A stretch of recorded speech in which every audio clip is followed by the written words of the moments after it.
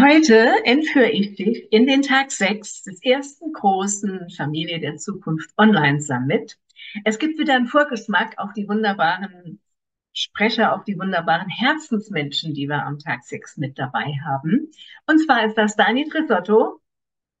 Mit Dani Trisotto geht es unter anderem um das Thema, welche kleineren Schritte kann die Familie gehen, um den Mut und das Selbstvertrauen zu entwickeln für den Schritt in die Freiheit. Also, um sich wirklich das freie Leben zu gestalten.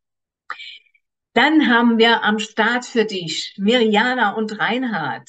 Bei den beiden geht es wirklich darum, ganz, ganz groß denken zu lernen und auch, wie du dein Geldbewusstsein neu ausrichtest, um auch mal mehr Geld in deinem Leben zu empfangen. Und mit Lilian Runge haben wir darüber gesprochen, wie finde ich meine Wahrheit. Vielleicht hast du dich schon mal gefragt, was ist eigentlich Wahrheit? Was ist meine Wahrheit? Ja, also, falls du noch kein Ticket hast, am 20. Januar geht es offiziell los mit deiner Anmeldung. Ähm, bekommst du sofort ganz, ganz tolle Geschenke von uns auch. Kannst ja sofort downloaden. Da ist ein Kurs mit dabei, da sind Meditationen mit dabei, da sind drei ganz tolle Songs von meinem Mann mit dabei, der von Haus aus ja auch ein begnadeter Musiker und Sänger ist, um dir die Zeit dann auch ein bisschen zu verkürzen. Und ja, lausch doch jetzt einfach mal, was Lilian Runge, Liliana und Reinhard und ja, Dani Trisotto aus ihrer Sicht dazu zu sagen haben, warum du unbedingt dabei sein solltest und dir jetzt ein Ticket sichern solltest.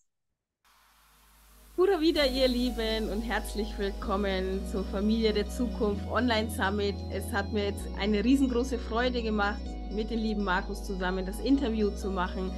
Und hier ging es wirklich um die Heilung des inneren Menschenkindes, denn das ist der Wert in uns, der sozusagen irgendwo in uns schlummert und nach außen peitschen möchte, sich zeigen möchte, lebendig sein möchte und wirklich forschen und neugierig sein möchte. Und da ist natürlich in der Nähe die Fülle, die Freude, die Freiheit, die wir uns wünschen da draußen. Und ich freue mich einfach, ja, viel, viel Spaß beim Schauen und wir sehen uns. Liebe Grüße hier aus Costa Rica. Tschüss.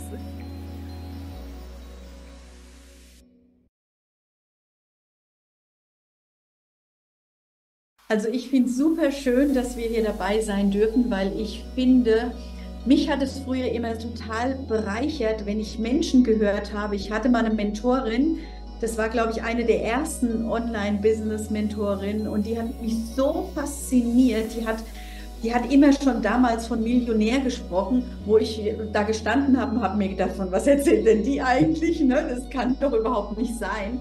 Und ähm, wir wollen mit diesem, was wir hier preisgeben, einfach mal zeigen, dass das auch für Menschen geht, die sich das auch nie vorstellen konnten, die aus einem kleinen Dorf kommen und nicht aus irgendwo aus einer Riesenstadt und da schon irgendwie was mitbekommen haben, sondern einfach wirklich so ganz normale Menschen. Und wenn ich jetzt mal zurückblicke, glaube ich, hätten wir das früher uns gar nicht vorstellen können, dass wir auch mal dahin kommen und wirklich da ähm, Millionäre werden und ähm, ja, uns einfach dieses Leben erschaffen, was, was wir uns immer gewünscht haben. Weil wir haben immer gedacht, oder ich habe immer gedacht, das ist für bestimmte Menschen und die haben die Voraussetzungen und das hatten wir alles nicht. Und haben es trotzdem geschafft. Und das möchte ich mitgeben, es kann jeder schaffen, jeder. Absolut korrekt. Also erst einmal ganz, ganz herzlichen Dank, dass wir hier sein konnten. Und äh, mein Motto war früher immer schon so, unterhalte ich dich mit Menschen, die das erreicht haben, wohin du willst. Und unterhalte dich nicht mit denen, die dort auch erstmal gerne hin wollten, denn die dir keine Ratschläge geben. Ja? Ähm, also zumindest keine förderlichen Ratschläge geben. Dann ist es so, dass es nicht unbedingt immer der, ähm, das Studium sein muss, was dich nach vorne bringt. Was nutzt sich das beste Studium, wenn du dich nicht traust, die Menschen anzusprechen? Ja? Bei mir ist es eher umgekehrt. Mit mir darfst du nicht weggehen. Wenn du mit mir einkaufen gehst, ich, bin ich zu Hause und habe fünf neue Kunden gewonnen. Ne? Ja, und das ist für mich die Erfüllung schlechthin. Ja? Ich habe vorgestern oder was waren wir hier in der Mall einkaufen und dann höre ich auf einmal so Italienisch. Ne? Und dann habe ich mich umgedreht und habe den gefragt, äh, ob er aus Italien ist. Und ja, ja, ja, ja. Und ich sage, oh, das ist ja so eine tolle Sprache. Und dann war ich mit dem mittendrin und seine Frau hat sich gefreut und die Tochter hat sich gefreut. Und plötzlich haben wir unsere Karten ausgetauscht. Der ist, der ist aus dem Parfumgeschäft. Ich dachte, da lässt sich sicherlich was machen. Und schon hatte ich einen Kunden, der in mehreren Ländern Parfüme verkauft, weil ich den da hinten kennengelernt habe. Ich hatte mir erzählt, warum die Sprache ist einseitig, aber die Mimik, allora, und ja, da, da, hat sich gefreut wie ein Elch und ich mich auch und alles ist gut. Ja, und das ist das, was mir so Spaß macht. Ich, ich, ja, fertig.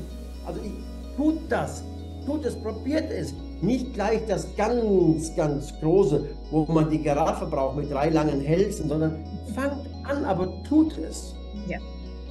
La Dolce Vita. Also unbedingt hier anmelden und noch mehr von Mirjana und Reinhard im Interview erfahren.